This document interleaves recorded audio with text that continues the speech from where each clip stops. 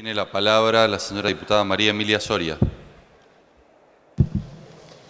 Gracias, señor presidente. Sin dudas, el proyecto de modificación del régimen de financiamiento de los partidos políticos es uno de los más trascendentales en los últimos años que hemos tratado en este recinto. Es un proyecto que nos obliga a pensar qué tipo de democracia y qué tipo de país queremos para nuestra Argentina. ¿Qué lugar le damos a las minorías y qué injerencia le damos al poder económico de decidir sobre nuestro destino? Hemos aprendido mucho sobre el oficialismo desde el 20 de julio pasado, 2018, fecha en que el Poder Ejecutivo ingresó el proyecto original de financiamiento a esta Cámara. Para empezar, hemos aprendido la precaria noción de consenso que tiene Cambiemos sobre el trabajo de este Congreso. He escuchado atentamente a senadores y a diputados propinantes que me, sobre todo eh, el presidente de la Comisión de Justicia,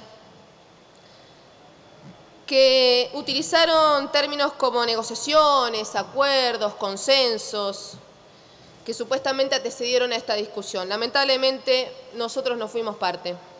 Lo lamentamos sobre todo porque cuando, cuando la Constitución, perdón, cuando la Constitución ordena una mayoría especial para la sanción de este tipo de leyes, eh, no se trata solamente de un tema numérico, no son 129 votos afirmativos, es un esfuerzo más, es un intento más. Son leyes de tanta trascendencia institucional que nos invita a estar realmente de acuerdo sobre las reglas de juego. Ni hablar de importancia de las modificaciones en un año electoral, con elecciones presidenciales y con todo lo que hay en juego. La segunda cuestión que aprendimos es que el oficialismo no solamente no escucha a la oposición, sino que también ha aprendido a distraerse, ha perdido el termómetro, creo que esa es la palabra, ha perdido el termómetro para medir a la gente para preguntarle precisamente qué tipo de país quiere, qué rol pretende que jueguen las empresas. Yo estoy convencida de que si la gente le preguntamos si prefiere que las empresas gasten sus recursos y patrimonio en comprar voluntades de los políticos, o bien que inviertan, generen trabajo, o que por lo menos mantengan los puestos de trabajo que últimamente están siendo amenazados, seguramente elegirán esto último. Creo que fallan en consultar con la ciudadanía. Si prefieren a las empresas invirtiendo en ejércitos de trolls y fake news, o si su rol social es velar por generar condiciones más dignas, agregar valor a nuestras economías, generar divisas mediante la exportación. Hoy tenemos esto en juego, señor presidente, nuestro modelo de país. Empresas comprando voluntades a cambio de obtener favores políticos, concesiones, contrataciones directas, información privilegiada, o empresas haciendo lo que hay que hacer, con políticos que entiendan las necesidades de la gente. La gente en época de crisis crisis autoconvocada por Cambiemos, por supuesto, reclama austeridad.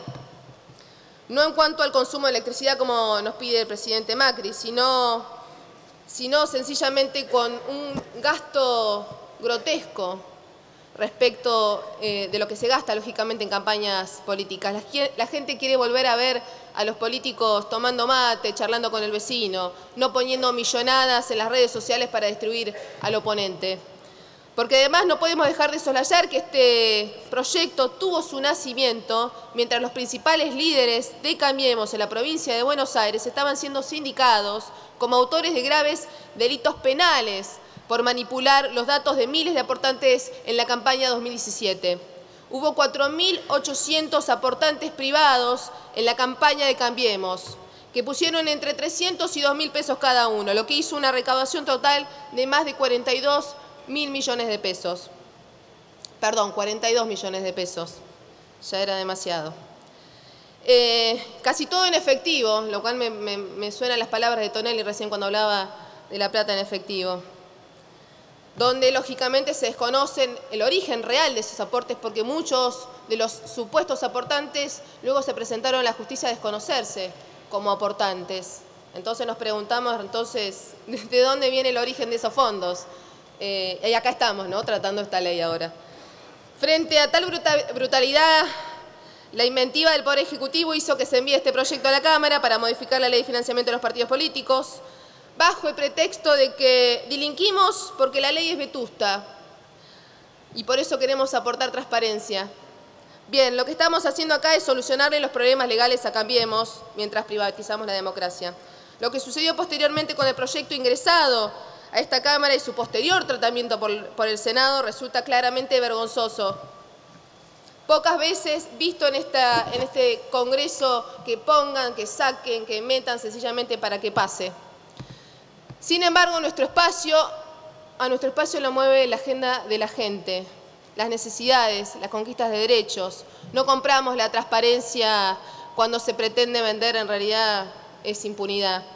Pero no solamente es la falsa transparencia lo que está en juego, señor presidente, es también la equidad, la igualdad de oportunidades que tiene que haber entre todos aquellos que pretendan participar en una contienda electoral. El proyecto elimina a los partidos jóvenes, o mejor dicho, de estructuras pequeñas, cualquier posibilidad, cualquier parámetro.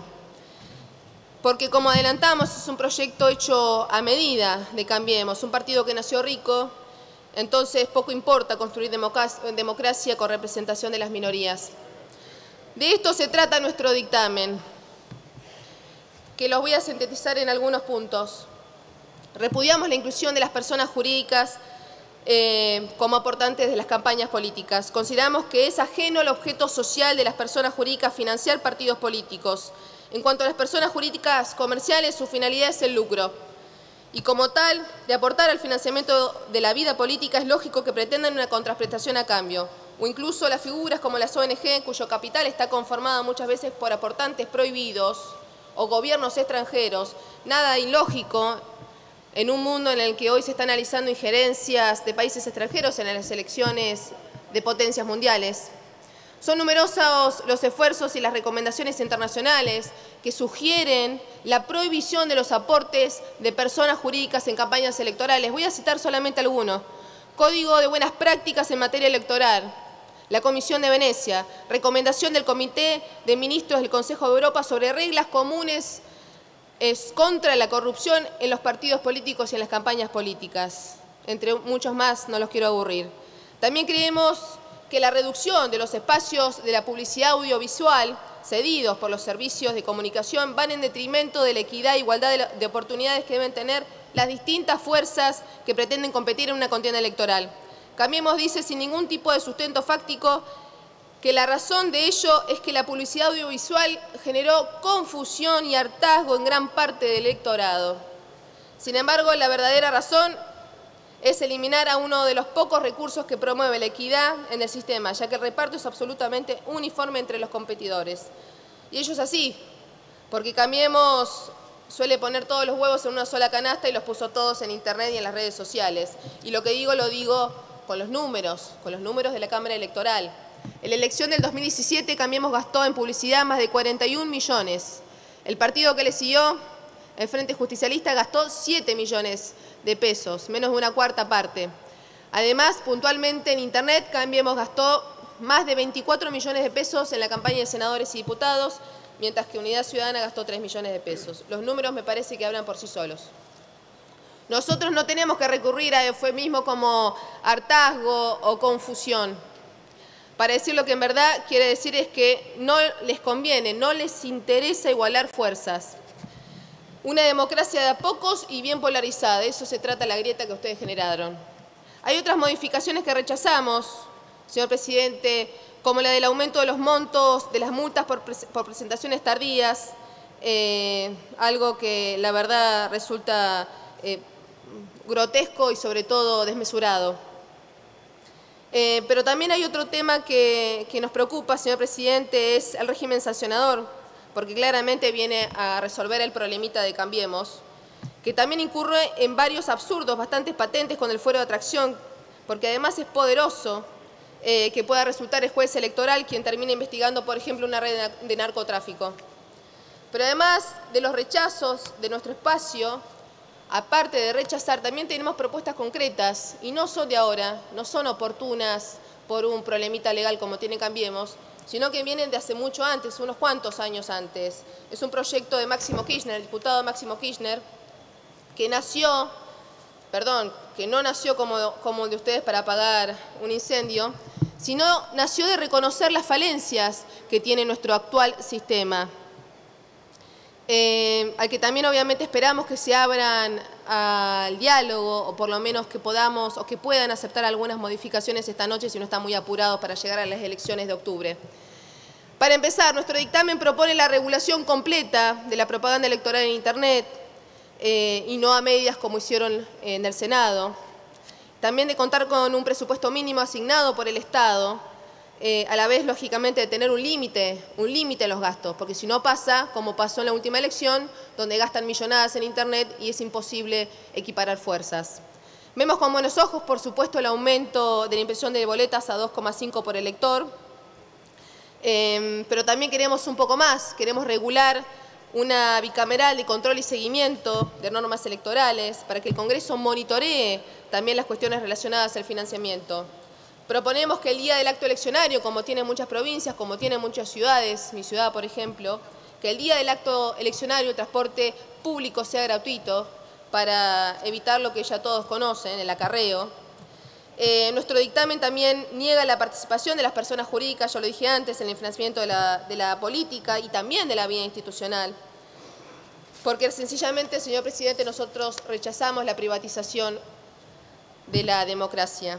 Queremos, señor presidente, batallas justas, dirigentes con compromisos con el pueblo, no con el poder económico y sobre todo repudiamos las leyes hechas a medida para salvarle las papas al gobernante de turno, señor presidente. De eso se trata nuestro rechazo y esperamos que a lo largo de este día acepten modificaciones para mejorar esta ley, porque de lo contrario estaremos lógicamente volviendo, mejor retrocediendo hacia, hacia las legislaciones que son repudiadas en todo el mundo, sencillamente porque las banca el lobby. Nada más. Gracias, señor presidente. Gracias, señora diputada Soria.